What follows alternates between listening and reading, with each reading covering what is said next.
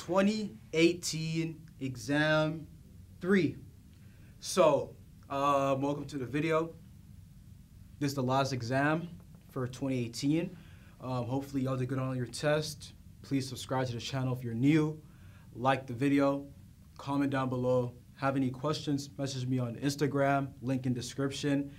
And let's get started. So 2018 exam three, number one is gonna be the same as 2019's own. So I'm just gonna use that clip for number one. So let's get started. Let's get right straight into it. Number one.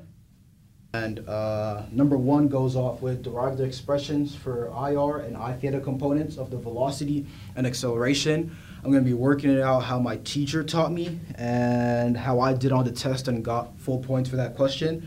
So let's go ahead and get started. So the first thing you write is the R, the R vector is equal to IR, okay? R is equal to IR times r. That's what the r vector is equal to. And then after that, you're supposed to memorize IR is equal to cosine theta, cosine theta, i hat plus sine theta j hat. So those are the two main things you're going to need. Then after that, you're going to have to take the derivative of both of them, dir, d theta, and then the derivative of that is going to be di theta. So dir over D theta. So I heard this one is called chain rule, or yeah, it's called chain rule. So you just take the derivative of that. It's going to be negative sine theta I plus cosine theta j hat, and then take d i theta d theta which is equal to, and this is equal to i theta. This is equal to i theta. So now you take the derivative of that, and that's going to be negative cosine theta i hat minus sine theta j hat, and that is equal to negative IR. As you can tell, this is just a negative version of that. So those are the main things you're going to need. Then on the side, you can write the general equations. d omega over dt is equal to alpha and d theta over dt is equal to omega. Okay. So now we're going to take both of these with respect to time. So let's do d i theta over dt. So this is, yeah, this is going to be chain rule. So this is equal to d i theta over d theta times d theta over dt because it's just the same thing. You, if you cross these out, it's going to be di theta over dt. So now just substitute it. You know d theta dt is going to be omega, and you know di theta over d theta is negative ir. So it's going to be negative omega ir. And that's the first part. Now we're going to do the same thing for dir dir dt is equal to dir d theta d theta over dt. Uh, dir d theta is just i theta, so this is going to be omega i theta. So that's the second part you're going to need. So now to find the velocity, we, we know the formula for velocity is dr over dt. So now we're going to take the product rule, which is equal to dr over dt i r plus r times di r over dt. So that is the product rule. You take the derivative of the first term, multiply by the second, take the derivative of the second term, multiply by the first. So yeah, okay. So now since we have that, all you gotta do is substitute um, dir dt. You know that's gonna be omega i theta, and that's all, and that's gonna be the formula. So now we know v is equal to dr over dt ir plus r omega i theta and that is the formula for the V. And yeah, that's the right formula for the V, and that's the first part. Now you're gonna do the acceleration, which is right here. Acceleration is the derivative dv dt.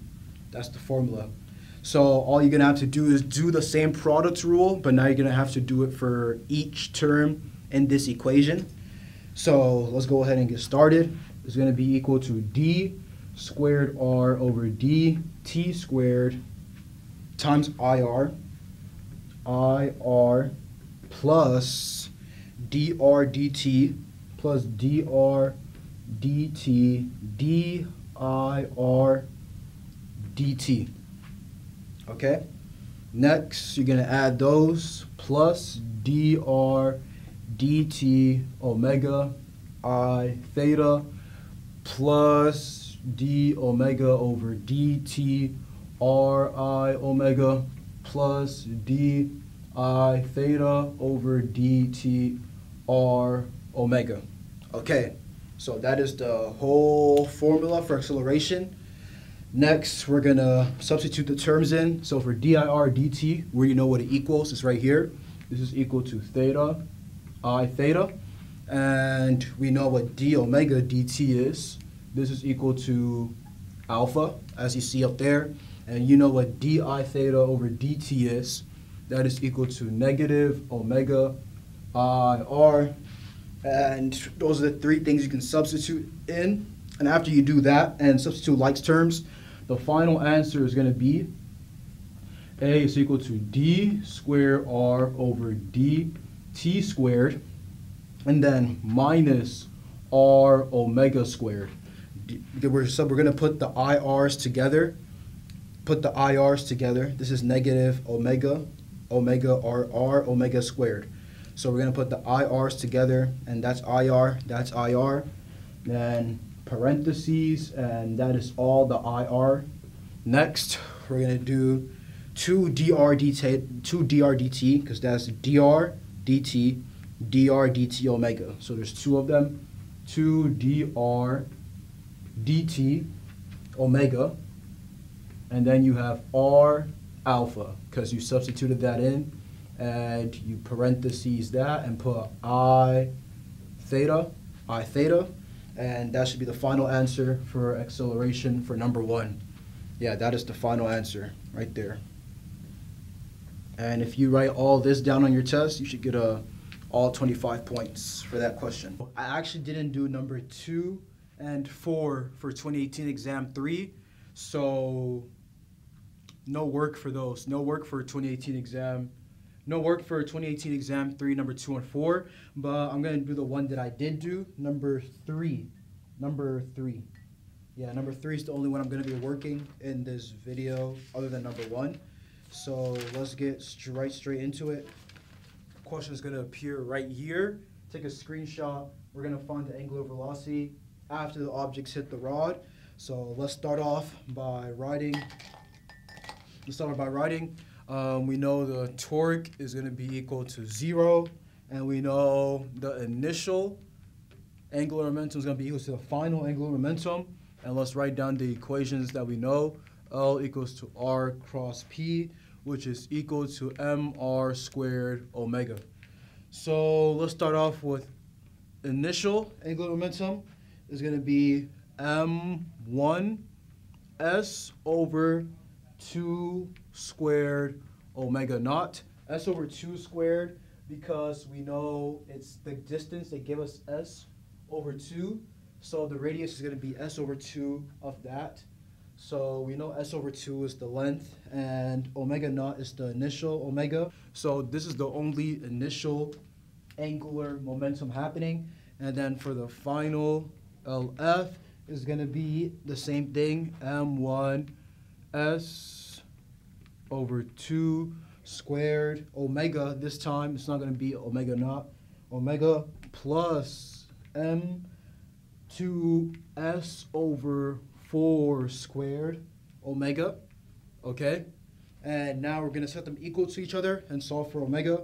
So m1s over 2 squared omega naught is equal to omega m1 to simplify s squared over 4 plus s squared plus s squared over 16 plus m2 s squared over 16.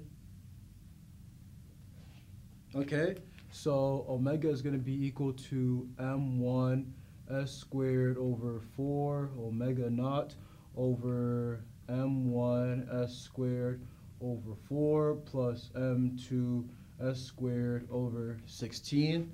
So now to simplify, you can remove this s squared over 4, s squared over 4. Make this, uh, you can just make this 1 over 4. It doesn't have to be s squared over 4 no more. m2, 1 over 4. Yeah, so this is going to be 1 over 4. And the final answer is going to be m1 over m1 plus m2 over 4 omega naught. And that should be the final answer they get in the answer key. And yeah, that is the final answer they get. And they put counter, they put counter clockwise because that is the direction that it's rotating. And that's the final answer for number three. And that's it for 2018. Hope, hopefully you guys enjoyed the video. That's the last video I'm doing um, for physics. Thank you guys for watching and go check out my other videos. And I'll see y'all in another video.